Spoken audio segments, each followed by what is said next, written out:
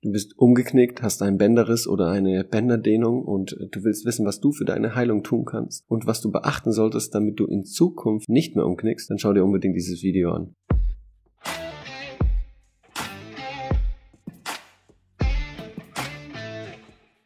Hallo, mein Name ist Matthias. Schön, dass du da bist bei Physio Insight. Als erstes die wichtigste Frage, die den meisten wirklich auf dem Herzen liegt, und zwar, wie lange geht die Heilung eigentlich? Leider gibt es gar keine so direkte Antwort drauf. In der Regel aber zwischen vier bis acht Wochen. Das kommt ganz drauf an, wie schwer deine Verletzung ist. Hier ist auch wichtig, dieses Video bezieht sich auf ähm, einfach nur umgeknickt, ein Bänderriss, eine, ein Bänderteilriss, eine Bänderdehnung, aber nicht darauf, wenn du dir schlimmere Verletzungen zugezogen hast, wie zum Beispiel ein Syndesmoseriss oder aber äh, sogar ein Knochenbruch. Im ganzen Heilungsverlauf ist es ziemlich wichtig, dass du langsame Schritte vorwärts gehst. Ich kann dir nur davon abraten, schnell viel zu wollen, weil meistens hast du irgendwelche Rückschritte. Das habe ich selber so erfahren. Ich habe gemeint, ich kann nach zwei Wochen wieder Fußball spielen oder Beachvolleyball spielen und äh, hinterher ist mir einfach nur der Knöchel wieder angeschwollen und das Ganze, Ganze ging viel länger und letztendlich war es auch so, dass ich mir dann zwei weitere Male das Außenband gerissen habe. Deswegen aus persönlicher Erfahrung, mach's eher nicht. Geh lieber langsam und dafür kontinuierlich. Grundlegend gibt es drei wichtige wichtige Dinge zu beachten in deiner Reha. Das erste ist direkt nach der Verletzung die Schwellung. Du solltest so schnell wie möglich die Schwellung reduzieren, denn dann wird deine Beweglichkeit besser und aber auch deine Schmerzen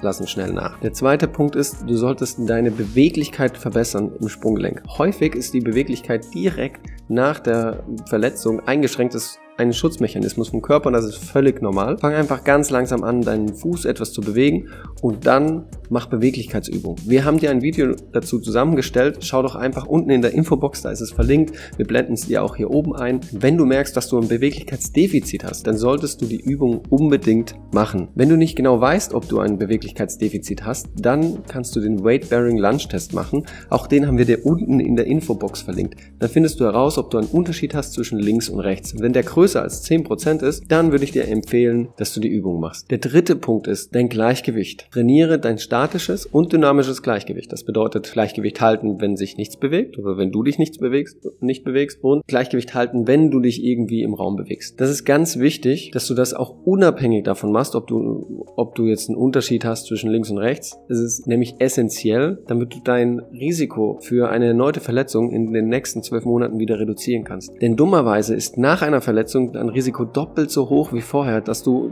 nochmal umknickst. Und es gibt zwei Möglichkeiten, dieses Risiko zu reduzieren. Und das eine ist ein Gleichgewichtstraining. Und das zweite, dazu kommen wir gleich. Wenn ich so Sachen sage wie Risikofaktoren, möchte ich dir auf keinen Fall Angst machen. Es sind einfach Faktoren, die die Wahrscheinlichkeit erhöhen, ob du nochmal umknickst oder nicht. Aber es liegt in deiner Hand, ob das passiert oder nicht. Wichtig ist auf jeden Fall, dass du Gleichgewichtsübungen machst. Aber halt, stopp. Bevor du jetzt direkt wegklickst und anfangen willst mit deinen Gleichgewichtsübungen, möchte ich dir noch was Wichtiges sagen. Der zweite wichtige Punkt, um dein Verletzungsrisiko zu minimieren, ist Tape. Und auch zu Tape haben wir dir ein Video zusammengestellt, damit du weißt, wie du dein Sprunggelenk am besten tapen kannst, um es wirklich zu stabilisieren. Nimm hierfür am besten Leukotape, weniger Kinesiotape, weil Leukotape ist wirklich stabil. Das entsprechende Tape, das wir empfehlen, haben wir dir auch unten in der Infobox verlinkt. Das heißt, du bist nun voll ausgestattet mit Übungen zum Gleichgewicht verbessern, mit Übungen zum Sprunggelenksbeweglichkeit verbessern und du bist sogar ausgestattet mit einem Video, das dir zeigt, wie du am besten dein Sprunggelenk tapen kannst. Das heißt, du bist voll ausgestattet, um deine Reha bestmöglich in Angriff zu nehmen,